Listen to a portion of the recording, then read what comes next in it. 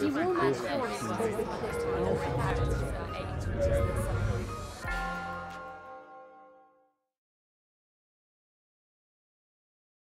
you for your kind welcome. It's um, very good indeed to see uh, some of our alumni here from uh, years gone by. You're most welcome. And this uh, talk came out of uh, something actually organised by the Trinity students themselves uh, a few months ago for the Trinity Scientific Society. And the idea was to commemorate uh, Moseley, Henry or Harry Moseley as, as he was known. As has said, was Trinity's greatest scientist, and I think uh, I can say that even though, of course, we've had three Nobel Prize winners. And it's generally accepted that had Moseley not uh, been killed tragically in the First World War in 1915, uh, he would have gone on to win the Nobel Prize for Physics. And uh, this is a very uh, uh, a good year to talk about Moseley. 1914 was when Moseley came up with his famous law and of course tragically killed in 1915. So 100 years ago, uh, Moseley's law, which put what we know as the periodic table, the order of the elements in the correct order. Now you'll notice that the title of my talk is Moseley's Law. And it could be that the development office have you here on false pretenses, thinking that I'm going to tell you, give you a, a talk that's essentially historical. But I'm tutoring physics here, and the students here know that you can't get away from any talk with me without learning some physics, whatever your background. So in fact, although we'll talk about a bit of the history, I'm going to try my best, maybe I'll fail, to try and get you ac across to you some of the actual physics.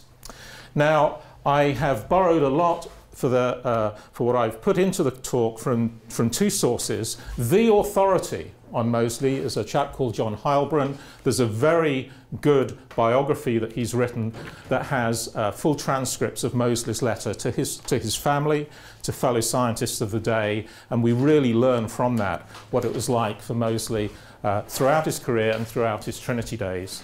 And also uh, uh, uh another um, uh, scientist here, a chemist, Russ Egdell, who's professor, or just retired actually as professor of chemistry here in Trinity, has kindly lent me some of his slides as well, which he's been giving uh, to, to his uh, colleagues in chemistry. So I'm going to do four things in this talk. I'm going to give, I, I will say a little bit about history because it's good to give some context, give you a very brief biography of Moseley and his early life. Then I want to try and give you a flavour of the state of knowledge around the years 1912 to 1914. One of the most, and remember that Moseley graduated from Trinity in 1910. Most of his best work was done in the, just a period of 18 months, but there was four months where he put half the periodic table in order. It, absolutely amazing. I mean, he was, he was a, uh, an extremely hard worker, extremely bright, extremely intuitive. But then I'm going to try and say something about the experiments and Moseley's law and perhaps I hope to get across to you something of what he, he actually did and how he went about doing it. And maybe we'll end up with discussing a bit about Moseley's legacy, because one of the things that strikes me, if we go back and see what he did 100 years ago, is I just have to look around the college and almost all of us in the physical and to a certain extent in the life sciences are using techniques that are exactly the same as what Moseley and scientists of his day pioneered perhaps with more sophisticated answers, but it started there. So brief biography. He was born in 1887 in Dorset. His parents were themselves scientists. Henry Nottidge was his father. He died at the age of 47 when Harry was three. So he never knew his father, but he was, uh, Moseley's father was a great naturalist. He was part of the uh, Challenger expedition, for example. He was well known to Charles Darwin, and Darwin is going to enter this story again. And his mother was also a daughter of the naturalist John, was, John Gwynne Jeffreys. Uh, so Moseley would have had, if you like, the, the flavour of science around him from a very early age. He went to school, first of all, up in Summertown, uh, at Summerfield School and then on to Eton College where he become, became a King's Scholar and uh, excelled in mathematics and in physics and in chemistry. Um, he, he won the geology and physics prizes at Eton, and he didn't enter for chemistry. There's a letter home where he says to his mother, I don't think I'll enter for the chemistry prize because I, I think I'll give someone else a chance this year. and, and he wasn't saying that in, I, I, truly believe he, he wanted to give someone else a chance. We'll see later uh, his attitude towards, you know, getting the result and getting, you know, for self-glory. That wasn't what it was about. Uh, we'll see that coming in later.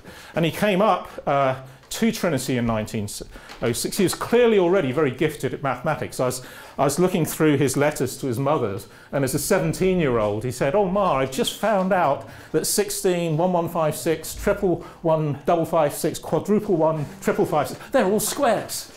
and I did last time leave it as a, as a um, exercise for my students to sort of hand into my pigeonhole and if, you know, next, next time round what the answer to that is. But I never received it. I don't know why.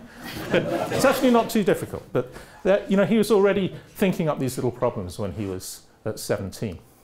So, I mean, there is a, another side to this story is that he did apply to uh, an institution that you may have heard of. Um, uh, but unfortunately, he applied for a scholarship there. Um, it was already in the bag for Huxley, uh, we understand, and he rejected Balliol. So we have, first of all, very, very good decision made by Moseley, and was offered a scholarship here uh, at Trinity, uh, one of the Millard scholars.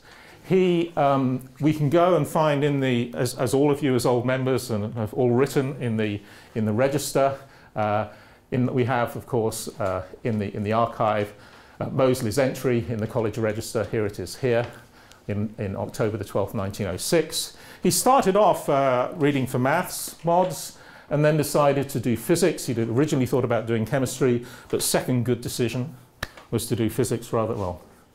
Um, but Trinity then didn't have any physics tutors, and he was, uh, got occasional tutorials from Nagel, but most of, most of the time he was farmed out for St John's. We don't actually have a lot of uh, information on um, the sort of tutorials he had. So here are his parents, as I said, and I, I think it's very poignant to see pictures of uh, Moseley as a young boy. On the right there, about exactly the time he would have come up to Trinity, 18, 18 years old. It's been each year, as you know, I mean, we're, we're just a week ago welcomed our new intake of freshers, and it's, you know, you see all of these fresh faces over freshers dinner and the president gives the speech, it would have been exactly the same. It's, it's, you can see that, that looking forward to the future in Moseley's eyes. He was um, a very great rower here in college, or a very keen rower. I don't know if he's necessarily a very good, good rower. And towards the end of his time, uh, we have pictures of Moseley in all four years while he was here. Here's the 1910 torpids. And I'm not going to go through all of this, but it's quite um, poignant when we go back and look at these college photographs to realize how many of the people in this photograph did not make it through the Great War.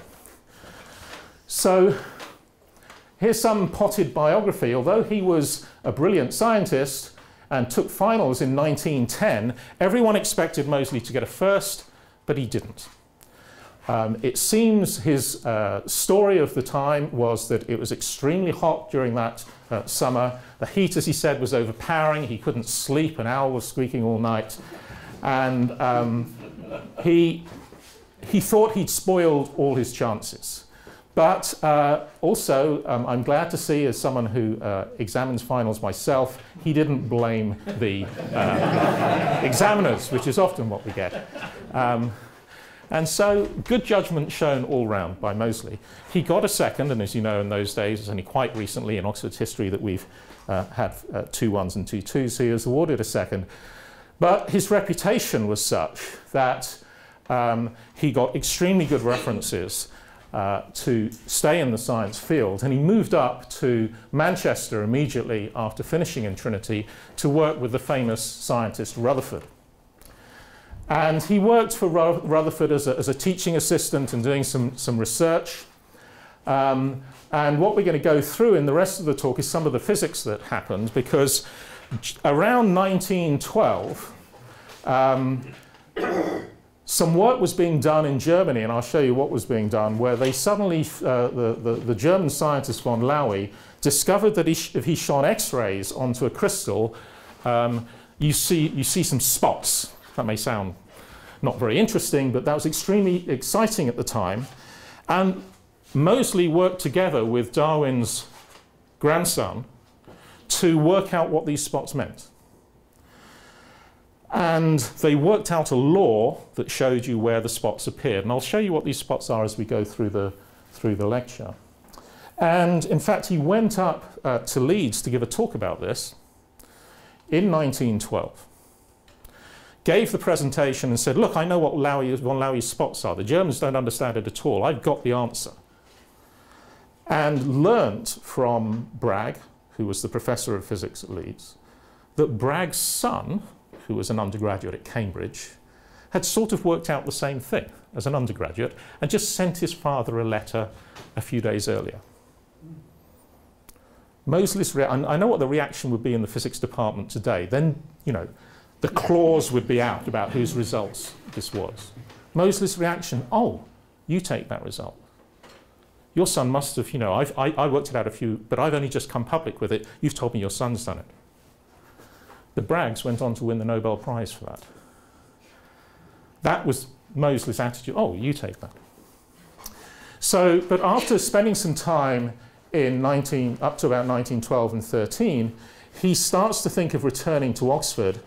Um, but there isn't, a, you know, he wants to get a position at Oxford, but the, fails in his first attempt and then decides, well, I'll just come back anyway. So he came back on no, without a job essentially. He got a small grant from a, uh, somewhere, but not a salary, and set up himself um, in the Trinity, well, this is where we had worked together, the Trinity Balliol Labs. And that's where the famous picture is taken. So this is him uh, uh, in the Trinity Balliol Labs, which are now just behind, well, they've been knocked down now, close to the squash court.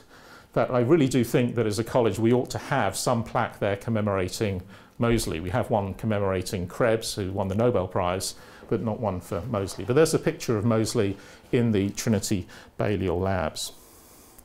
So then, just to, to, to complete the, the, the potted history, he worked out all of the periodic table, and I'm going to show you quite how he did that, up to about the summer of 1914, all of the elements up to gold. Up to, he worked out 79 elements and put them all in their right order uh, and understood quite a bit of the physics of what was going on. He set sail. There was a, at the time in 1914, in summer, there were, in the summer of that year, there was a, a meeting uh, which many of the most famous international scientists went to, of a British meeting of the advancement of science, but it was in Australia. He set sail in 1914 via Canada to go to that meeting. But during that time, war broke out. And he came back, he turned down a desk job in the army. He tried uh, we, we see evidence that he tried his best and succeeded in making sure that he went to the front.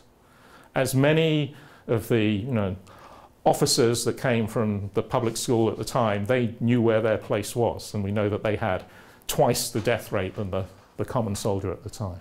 And he gets a signals officer position in the front with the Royal Engineers, and then he fought in the Battle of Gallipoli, uh, just uh, uh, obviously modern day Turkey, uh, just just south of the border there with Greece, and was shot by a sniper in August 1915. And um, we know, you know, he doesn't have a grave. There is a memorial there that I'll show you, show you a picture of. I mean, there are several hundred bones of several hundred soldiers there. Nobody knows who, who, uh, who they are.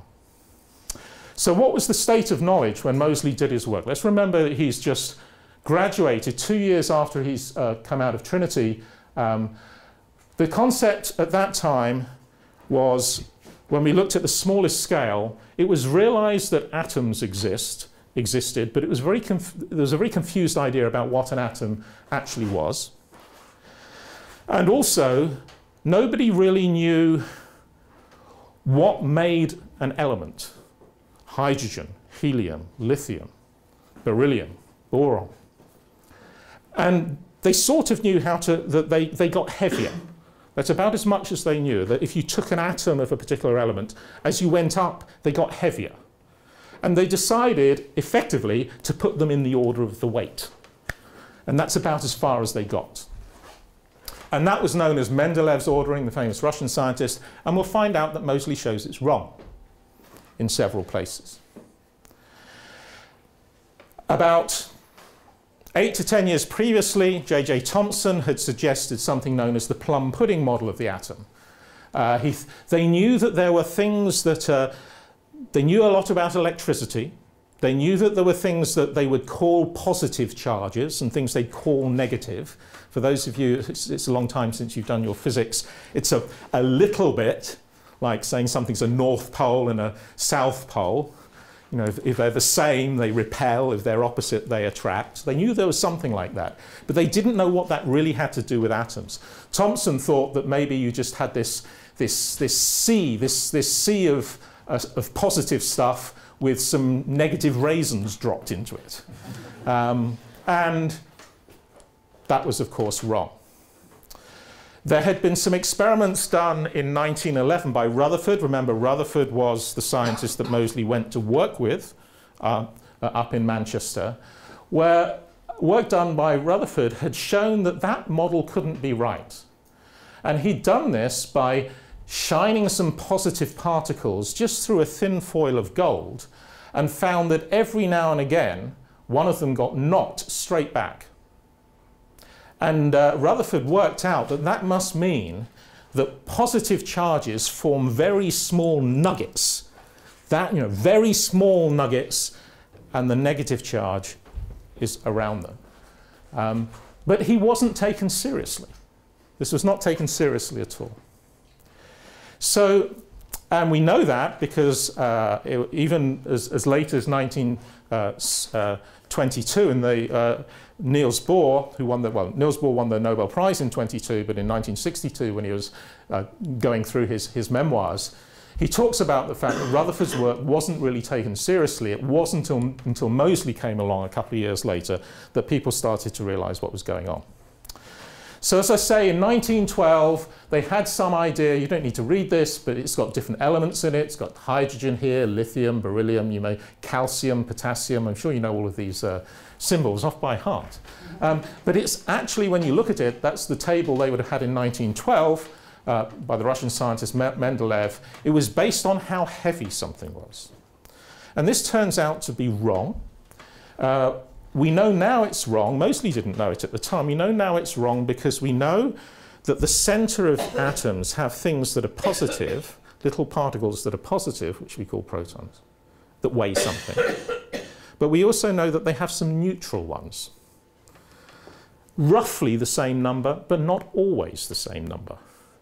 So it's, it's, it's not evident that everything goes up in the order you would expect, because sometimes you'll have too many neutral, well, more neutral particles than you might have expected, sometimes a bit less, and they weigh something.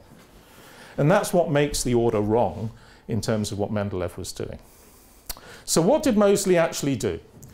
That it all starts in the summer of 1912, or the work is done in the summer of 1912. Moseley's on holiday.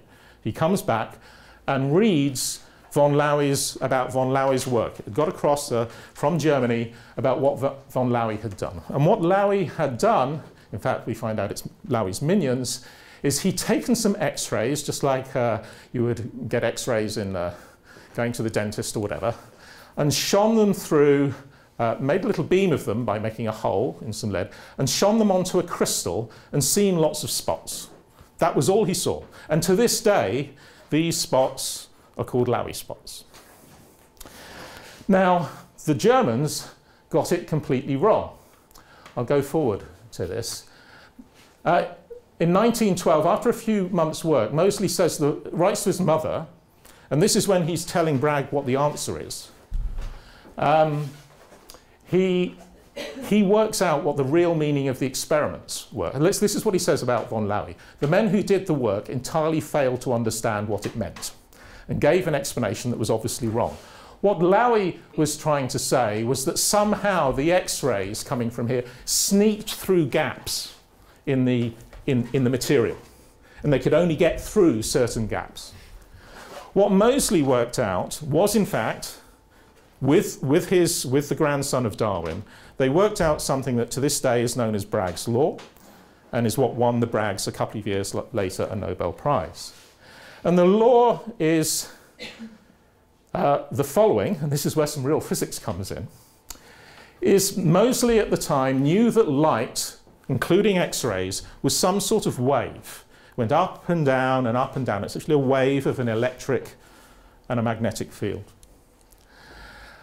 And a crystal, they also uh, had the concept at the time that a crystal was an array of atoms very regularly arranged, like soldiers on parade. You know, red one, green one, red one, green one. Very, very regular. That's why when you see a crystal, you, you know, the faces of a crystal are nice and flat and cut. It's because you're, you're cleaving down individual planes of these atoms. They had some concept of that. And Moseley worked out that with Bragg that this meant that when X-rays hit a crystal, they would only come off and reflect at certain angles, known as the Bragg angle. Because what you had to do is the waves coming up and down, up and down, up and down, up and down, it bounces off the first set of atoms. The next wave comes up and down, up and it bounces off the second set of atoms. And if it comes off at a certain angle, when this wave is going up, you'll see so is this wave going up. When this wave is going down, this wave is going down. And so they, it's a bit like that reinforcement. Have you ever tried, I'm sure you don't do this anymore, as, but when I was a kid, in the bath, you would slosh backwards and forwards and you get just the right frequency and you make a whole almighty mess. And it's, if everything's going up and down at the same time, it all reinforces. And Moseley therefore worked out that this angle that things reflected at told, you know, only happened at certain angles, and it was related, the angle was related to the distance between going up and down and up and down, what we call the wavelength, and was also related to the spacing in the atoms. Now, I don't have an X-ray tube here, and I don't have um, a crystal, but an analogous thing can be done with my laser pointer. In the same way as I have here a set of atoms regularly arranged like soldiers on parade, this is essentially the same as a CD. You know, if you take a, one of your CDs, it's really lots of lines going, well, like circles, but they're all evenly spaced. Like an old LP, the grooves are evenly spaced. And you'll notice that if I shine my laser pointer through here, I get lots of spots. Every single one of those spots is doing exactly what Moseley said. Factor of two difference, which my students will explain to you. But you can see, look, they're coming off. Now you'll notice as well that what this, what this would mean is because everything has to come up, off going up and down and up and down, if I change the wavelength, if I made the light shorter from peak to peak, the angle would change. Okay? Well, let's try. We have a green laser pointer. We have a red laser pointer. Do you see that the red is more widely spaced than the, than the green? Okay? this gets a little more diff difficult. I can't hold them all down. I'll try my best. Ah. Let's put this down for a moment. Right. Oh, not right. Yes. Now, there we go. There's the red coming in. Do you see the red is spaced most widely? Let's do it, let's do it one by one. There's red. There's green, closer together. There's blue. So I thought I'd bring a trinity of colours. now, that is is, is Bragg's law for this. There is a factor of two, but it's essentially what's going on. And you'll notice that that means you can do one of two things. That was Bragg's law. Bragg's law was relating this scattering angle, the fact that they're coming off, because you might say, well, why am I getting lots of spots? I thought I'd teach you some physics. Well, you can see that there's there's a slip in, one, in, in, in, wavelengths as you go here. If I go up to another angle, I can slip two wavelengths, or I go up to another angle, I can slip three. As long as I slip an integer number, they're also going to still be adding, going up and going down at the same time. That was Bragg's law. That's what won Bragg the Nobel Prize. Who worked it out? Moseley. But you can also see, and this, this is where the story between the Braggs and Moseley then divides. As you've seen, the spacing of the colours, the spacing depends on the colours. So I can go and do one of two things. I can either use this new physics to find out, the spacing also depends on this, you know, how far apart the atoms are in the crystal. The Braggs then made a career of using this technique to look at the crystals. Moseley spent his 18 months with one crystal looking at the colours.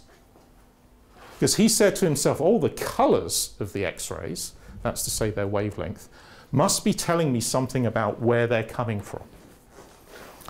So um, Moseley seeds the no didn't know he was seeding a, a, a, Nobel Prize, but effectively was. And as I say here, the Braggs decided to use those X-rays to study crystals, Moseley says, oh no, I'm going to take one crystal and look at the wavelength of X-rays that are produced when I, you know, when I look at different elements, because these X-rays are produced by shining electrons onto different elements.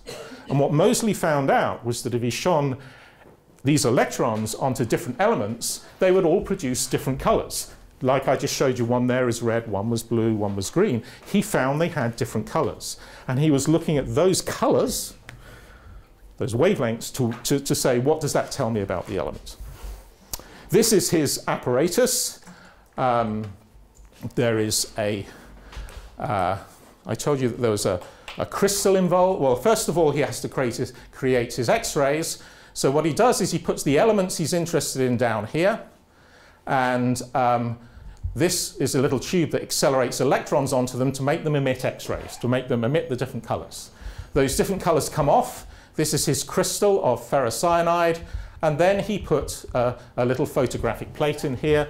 And just by moving this plate around, he could measure in the same way as I, I can measure the angle that these uh, different spots are coming off, he can measure the angle at which the X-rays came off. And that's all he did. But he, he uh, already showed himself to be um, a very resourceful young scientist. One of the hardest things at the time, uh, well, one of the most important people in any lab in the beginning of the 20th century was the glass blower, because everything had, all this is done under vacuum.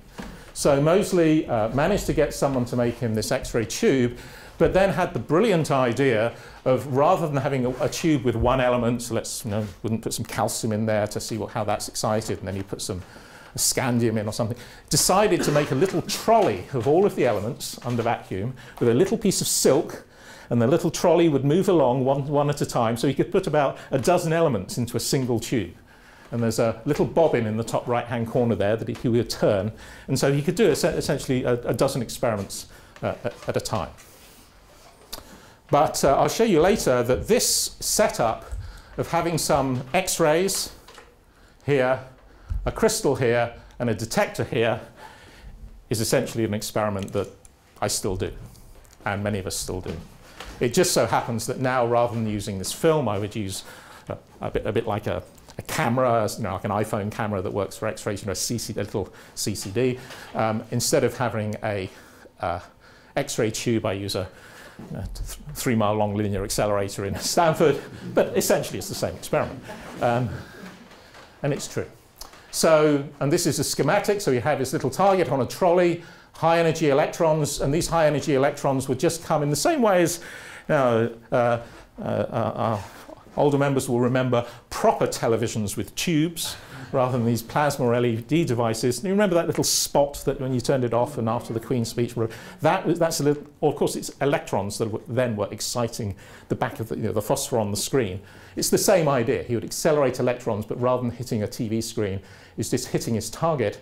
And all they knew at the time all they knew is that you got these X-rays, and then that so these, but they came out with different colours. They'd bounce off the crystal, and he'd measure the angles. And what he found, in the same way as I just showed to you that I can take two different colours and get different spacings, as you can see, he found that where the colours came on his film, this is changing the angle, changed with the element. And they changed, as long as he put the elements in a particular order, you can see they're changing in a very regular way. Here's copper, nickel, cobalt, iron. And he's just lined, these are all just little photographs lined up with the angle at which he meant, made, measured them. Notice already something in here that you may not notice. He's put, he, this is a nickel target. Clearly, he can't swap these around and get the right order. In Mendeleev's table, nickel and cobalt are the other way round because their weights would make you think they're the other way around. So Moseley already was onto something that they must come in this different order from in Mendeleev's table. This is from his uh, philosophical magazine uh, in 1914. And then he, of course, wanted to know, in the same way as I've told you, if we go back to Bragg's law, that we can know the colour. When we say we know the colour, it means we know this distance from peak to peak. Or another way of thinking about it is we know the frequency, we know how fast the wave is going up and down as it passes you. So Moseley obviously then went back and said, well, okay, this, this is a, a pretty picture, but is there a formula that fits this? Is there some simple piece of mathematics? Well, once I've worked out what this color is, once I've worked out what this wavelength is, is there a simple piece of mathematics that fits? And there was. He found out that if he called, for example, um, iron number 26, 25, uh, uh, and called um, titanium number 22, is it 21? Yeah, uh, I have to work it out now. He could, he could find a formula that was essentially three quarters of, say, for iron, 26 squared. But he had to subtract one. He didn't know why he had to subtract one. But he found a formula. First of all, the funny thing is it has a three quarters in front of it. Then when he put things in order, he actually started with aluminium, which is 13. So he started aluminium 13, silicon 14, and so forth.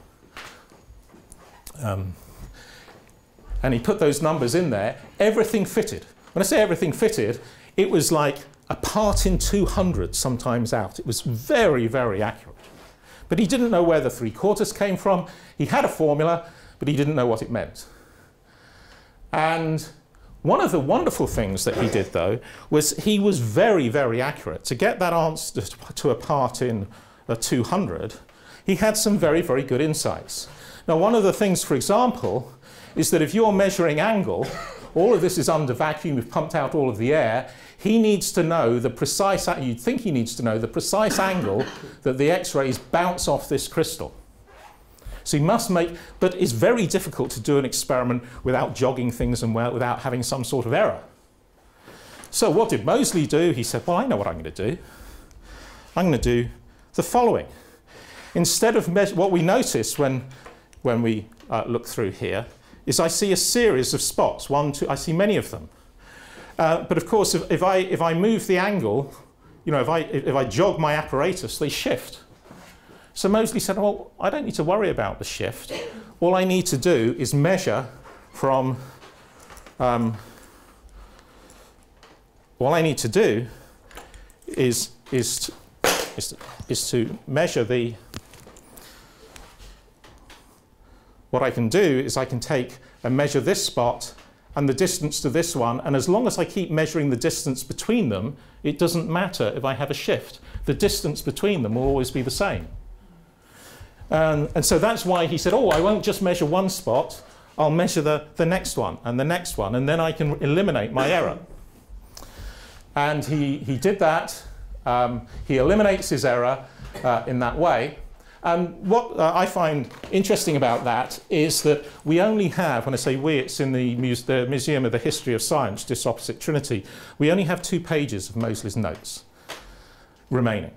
And this is one of them. And a couple of years ago, a, uh, a young woman was, uh, came over from the States to do a master's degree in the history of science. And for her thesis, she took a look at these pages of notes couldn't and couldn't understand them. She knew them, you know, let's ask her, Moseley's at Trinity, let's ask a, ask a physicist at Trinity. Happened to be me, or is me. And what was fascinating is going through these notes and knowing that that must have been what Moseley did, you can see there's lots of scribbling out on these notes. You know, he's, he's working out here, he's working out how far off his original angle was. But it, because I knew he was doing that, and where all of these things are scribbled out, what was fascinating on a, on a flight back from the States is I managed to work out what all the numbers were underneath the scribbles. And you might say, well, why did our, our American friend not manage to do it? And the answer is she was too young. She hadn't done log tables throughout the whole of her, whole of her career. And I said, You do realize he was using logs, and the, the mathematicians and, and, scientists here will understand this. And she said, Oh, I know, I know. And I looked at the piece of paper, but I could never get his numbers. And I said to her, Did you try subtracting one? Said, oh! and then it worked. But that was a, a, lovely few evenings there spent deciphering what these numbers are underneath, uh, underneath the scribbles. And working out, in fact, that he, uh, exactly what his error was in the original shift very, very, and down to this accuracy of a part in 200. And that formed part of her thesis, uh, successfully defended in 2012. Moseley, so he worked out this formula, 3 quarters z minus 1 squared, where z is the element, as I say, 13 for magnesium, 14 for silicon, and so forth. Once he, but he went all the way up to uh, quite high, up to about uh, 42 or so, and then he, he found that uh, the line started all over again. He, he couldn't go much further. The line started in another way. And he found another formula for the uh, heavier elements. Here's a 3 quarters. Here's a 5 36. Here he had to subtract 1. Here he has to subtract nearly 8. What's going on? He didn't at the time know. Um, now we do. Now we do because, uh, and Moseley I think himself would have just about worked it out had events not turned out in a tragic way. Um, what we know, now, oh, this doesn't, doesn't fit. Uh, let's go back. What we know now is that within, uh, that atoms are made up of this central nucleus, this heavy part that's positively charged. And that the electrons go round it uh, in orbits. The electrons are very, very light. Typically, an you know, the constituents that make up this nucleus, the positive and neutral charges, are about two, each one of them is nearly 2,000 is nearly 2,000 times heavier than each of these electrons. So in every atom of your, your body, all of the weight that you have is concentrated in this tiny nugget of a nucleus. When I say it's tiny, this nucleus here is about a hundred thousandth of the width of the atom. Most of you is empty space, not just between, no. and so, you know, most of, you know, physicists don't think that matter is this hard, solid billiard ball stuff. It gets a lot more complicated than this. But what was known at the time, or what Bohr came up with, and why you, you saw he got the Nobel Prize in 22, was that these, uh, these orbits had different energies associated with them. This orbit number one. This is orbit number two, orbit number three. And we're not going to get time to teach you all of this physics, but Bohr worked out that this orbit number one has an energy, it's actually a, attractive binding energy, of 1 over 1 squared. Guess what this one was? 1 over 2 squared. Guess what this one would have been in hydrogen? 1 over 3 squared. Now, we say to ourselves, and Moseley didn't didn't know this. Where does his three quarters come from? Where does his 5 36ths come from? Well, if I take 1 over 1 squared, I think most of us know that's 1.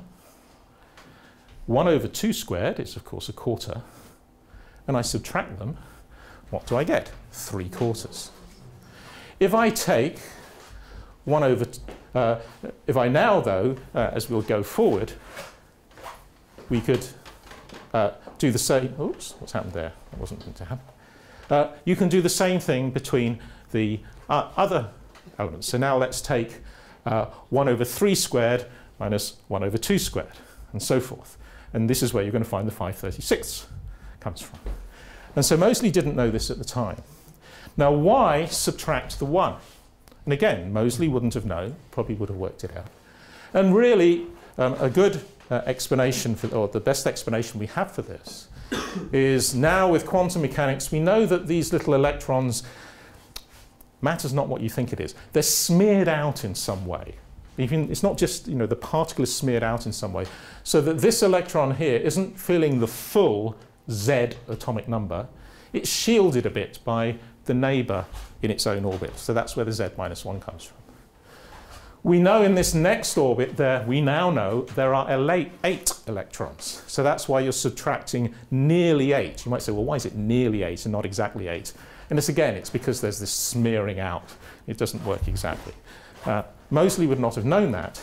And what's going on in his experiment that I, is that he shines this electron into his atom. It hits an electron in the atom.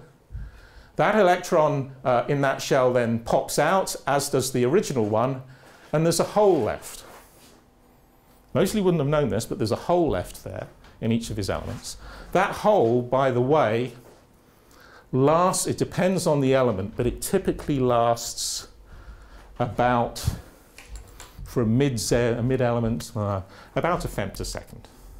So if you don't know what that is, we'll take a second and divide that by a thousand, you get a millisecond. Divide that by a thousand, you get a microsecond. Divide, divide that by a thousand, you get a nanosecond. Divide that by a thousand, you get a picosecond. That by a thousand, you get a femtosecond. So short, basically. so it lives, so, so this is, I'm, I'm slowing the movie down. So, so there's a hole there, and what we find is one of the uh, electrons in the outer orbit then drops back down. It has to release its energy somehow, and that's what's coming out as the X-ray. Moseley would not have known any of this, but he was, when he was measuring the X-ray, he then was saying something about how attractive this positive nugget, this nucleus in the center of the atom was. And therefore, he was telling you how much positive charge there was there. And it's how much positive charge there is here that defines an element, not how heavy it is, not if we add you know, more of this neutral stuff. That's why he got things in the right order. So uh, that's what gave rise to Moseley's ladder.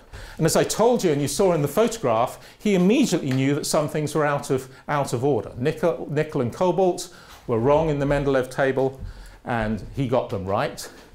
The other thing he found, he went all the way up to elements, took about 75 of them, is there were four that were missing. Try as he might, he could not find these four elements.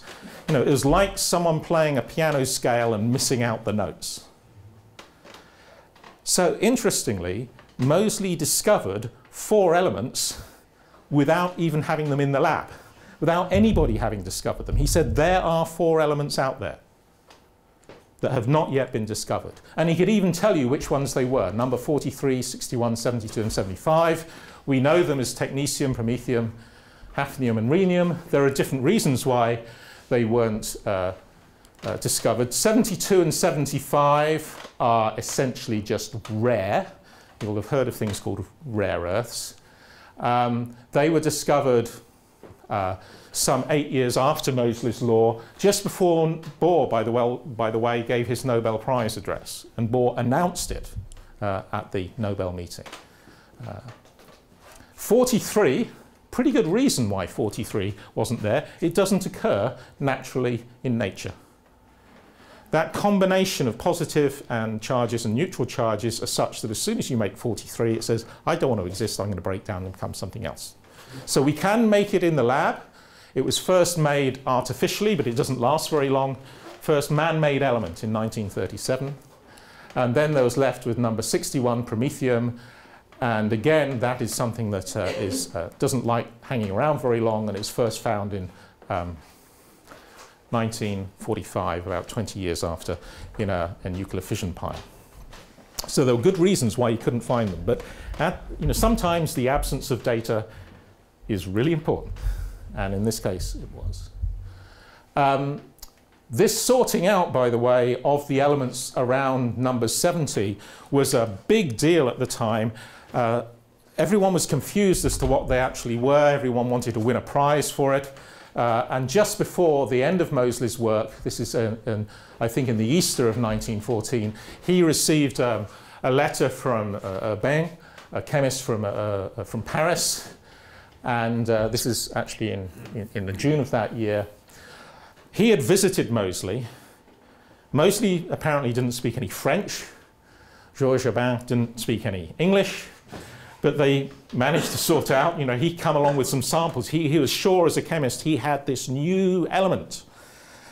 And Moseley said, oh no, it's just a mixture of the old ones, and could prove to him that it was just a mixture of the old ones. And uh, Urbain was not particularly happy about Moseley being able to do that, but he was stunned that within essentially two days working with Moseley in the lab, he had the answer and definitively knew that he didn't have uh, any new element. And so he wrote later to Moseley, and he is one, as far as I can tell, who coined the, law, the, the phrase of Moseley's law.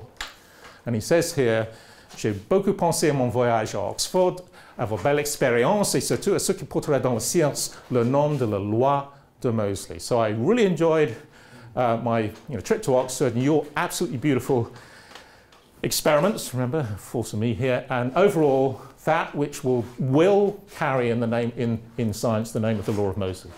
Cette loi donne base à la classification de Mendeleev qui n'est pas point de vue scientifique qu'un joli roman.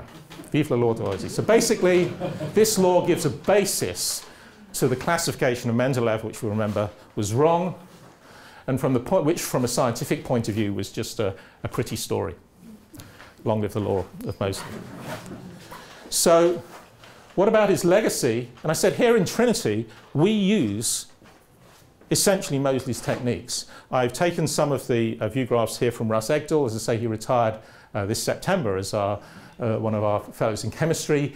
He does exactly this to look at things like working out how batteries work. He ejects the electrons from the atoms with the X-rays and looks at the electrons.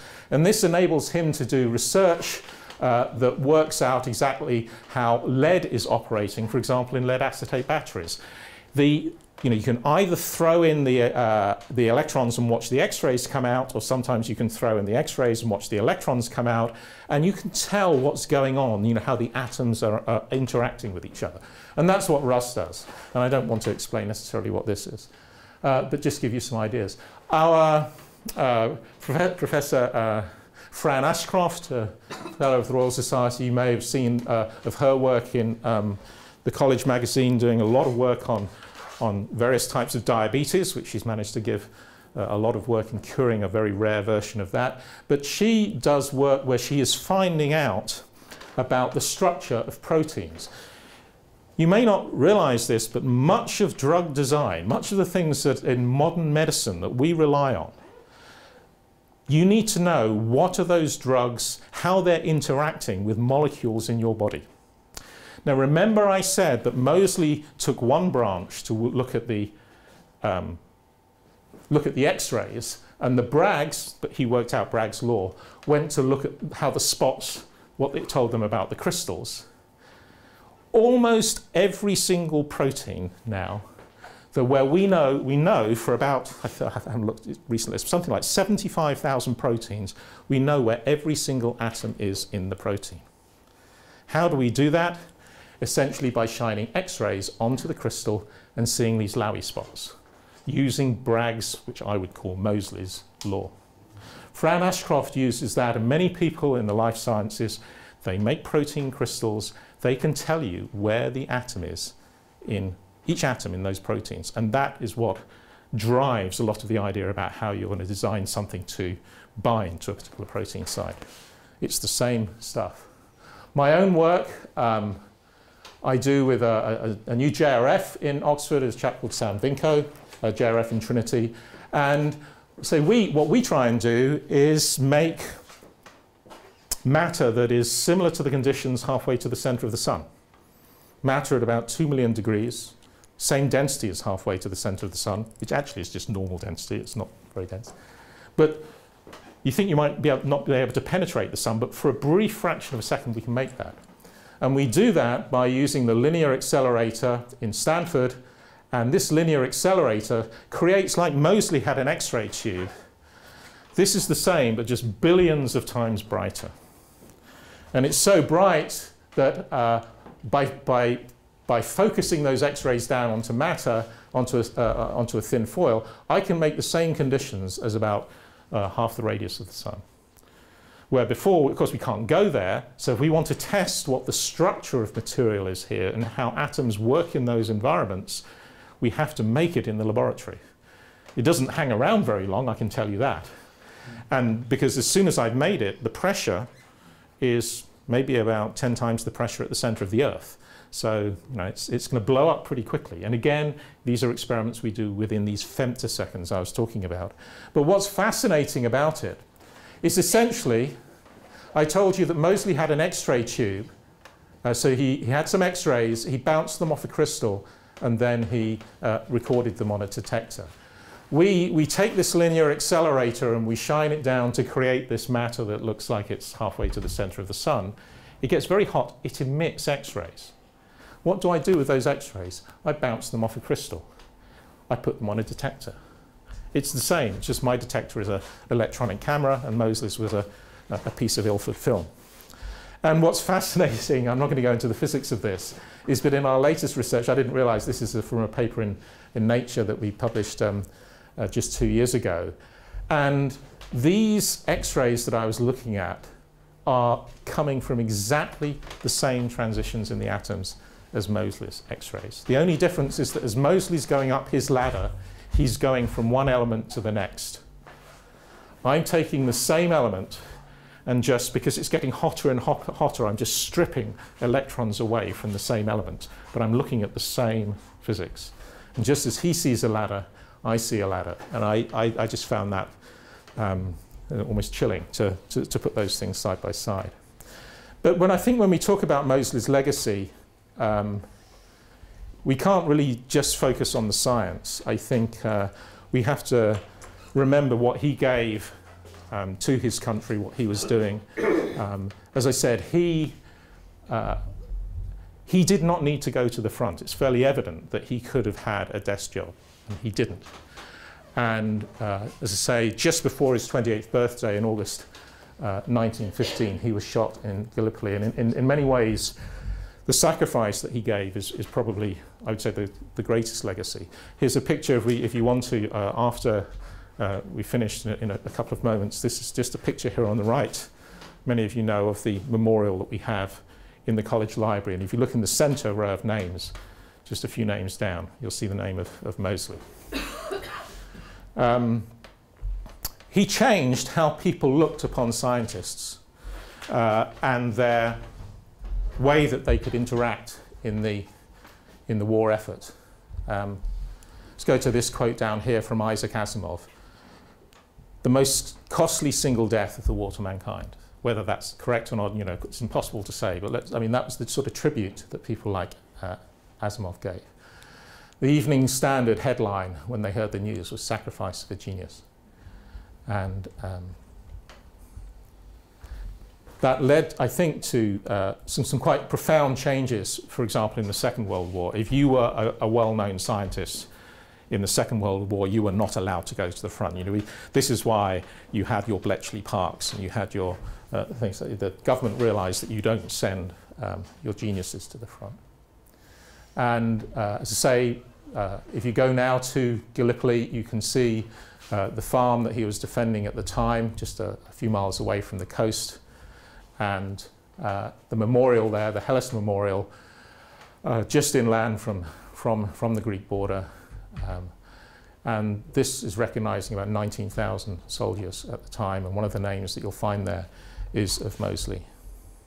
So, but perhaps for me the most poignant thing is just seeing the fresh face of Moseley, or he is just before he graduates, looking no different from, really, from the students of today, and the quad looking no different. And there we are. That's the tribute to Moseley and Moseley's Law. Thank you for your attention.